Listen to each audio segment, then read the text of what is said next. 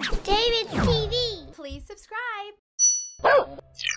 This video is sponsored by Kano! That's right, guys, and we're all decked out in our Harry Potter gear. Kids have their Ravenclaw. Well, Lana has David's TV shirt on because she doesn't have a Harry Potter. I don't have shirt. Harry Potter. And I have my Slytherin shirt on, and we're about to show you one of the coolest toys we've ever played with. Right, guys? Right, yes! It's like having real magic. It's an actual Harry Potter magic wand that teaches you how to code. And the reason why you want this toy is guess what? The same reason why your parents should buy this, because this wand teaches you how to actually code software. Right, guys? Right. Yay! All right, let's show them what's in the box.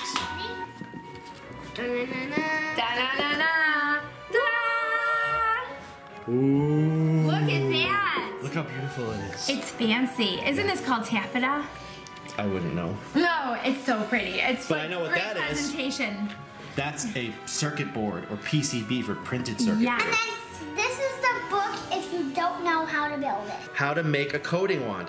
And it tells you about all the parts and how to assemble your wand, all right? It's so easy, even a six-year-old can do it, right guys? We happen to have a six-year-old here with us, right? Yep. Me. All right, so here we go, ready? Dylan's gonna put the button in. It's as simple as that. Okay. Jagger, what piece was this? Do you remember what this is called? Um, the computer chip. That's right, the circuit board. That's the sensor that knows how you move your magic wand. Okay, Jagger, put the circuit board in. Good. Perfect. That was easy. Daddy will take the cover. Put the cover on and look guys. I'm gonna press the button That's it. And there our wand is on. Oh my gosh, it's turning on. Look at So that. now we're gonna go over to the computer and show you how all this works. But we're gonna need something first. Because we've got a Harry Potter wand and we don't have a Harry Potter yet. Oh, cast your spell. A panacea.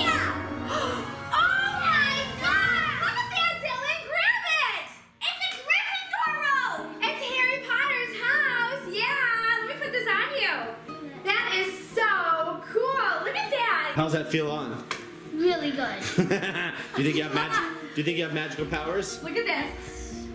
Oh, well yeah, because he's holding the coding wand. Yeah, for sure. Okay, we're gonna move to the computer and we're gonna show you all the software and how the wand works. And then we're gonna do this awesome challenge that we thought of. It's called Coding in Real Life with Harry Potter. And if you're really smart, you'll be able to figure out the challenge. The software has Harry Potter's world on it. This all by seven day challenges. By the Wizarding World. The wand works with all computers and tablets with Bluetooth connections. Look at all these iconic locations.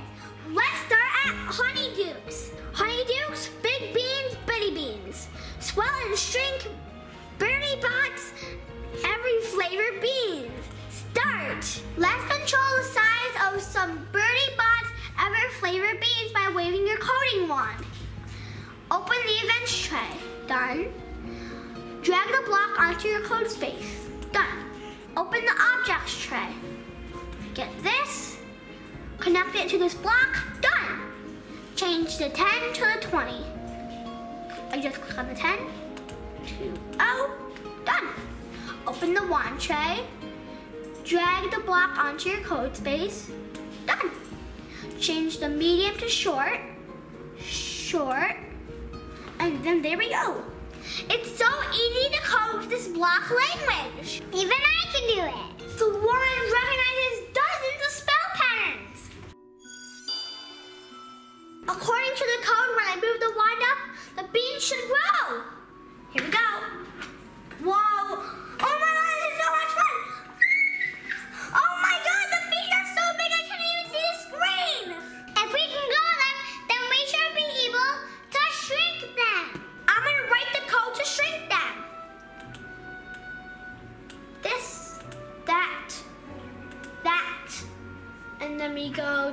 objects, this, easily place this, do this, shrink, and then we're gonna change this to 20. Done. And now we just need to do one, and then we need, let's do the LED color. This looks cool. Attach that, let's change the color. So instead of vibrating the wand, you're gonna make it change color? Yeah. So cool. You have the creative freedom to do whatever you want when you know how to code, right, Jagger? Yes, the blue.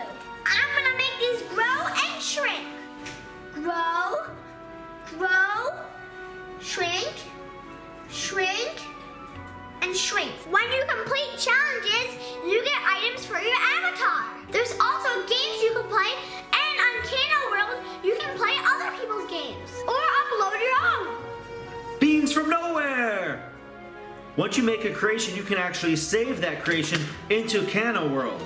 So I'm gonna this one, beans from nothing. Now watch this.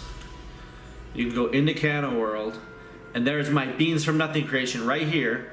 And look at all these other creations other users have made. that you can edit and play with. Henry's flying forward, smoke on the water, fireworks, what a kerfuffle. Beans, you say? Who loves chocolate frogs? This is a Harry Potter magic wand that's going to teach your kids how to code.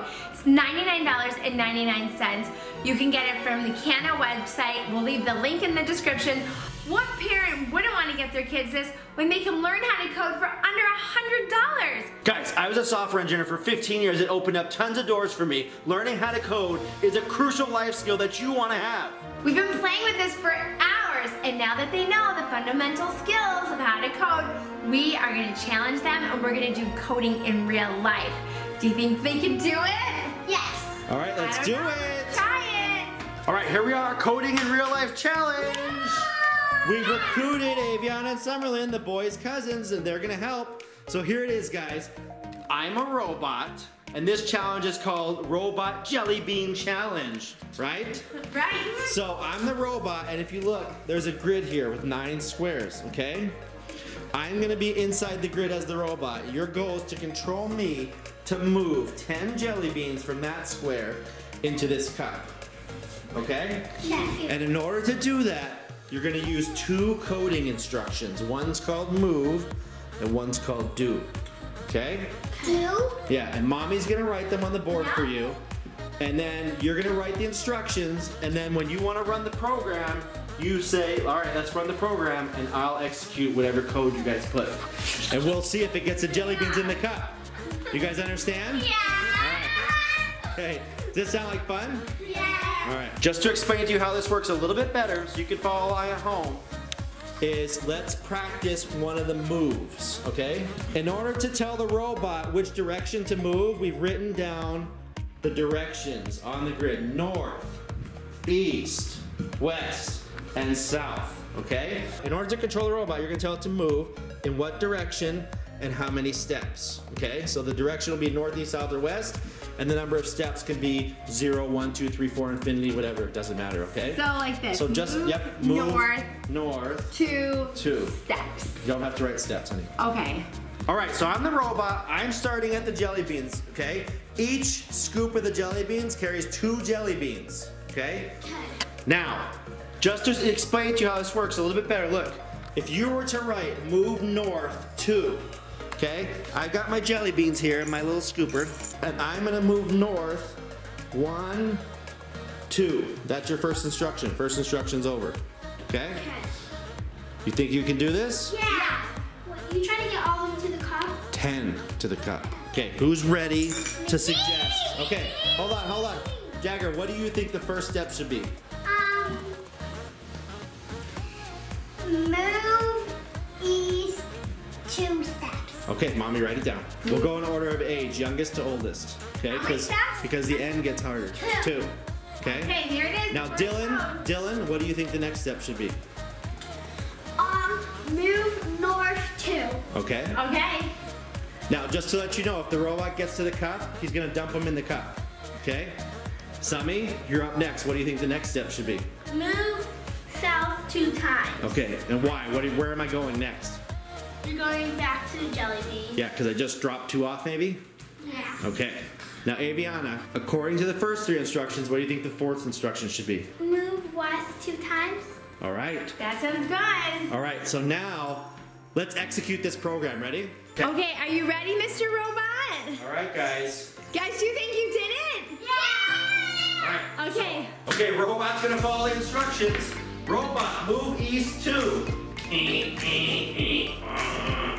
Robot, move north two. E, e, e. Remember what I said when the robot gets in the cup, he's gonna drop the jelly beans, right? Instruction number three, move south two. Eat, eat. I'm a good robot. Instruction four, move west two. Oh, I'm gonna pick up two more jelly beans. All right, guys, now. Here's where the power of coding comes in, right? We could repeat all four of those instructions. How many more times to get 10 if I do two each? Um, Or how many times total would I have to do that? five. Five times, which means we'd have 20 lines of code, right? Huh. But watch this. Pay attention at home. Mind blown. Watch. See this do X number of times?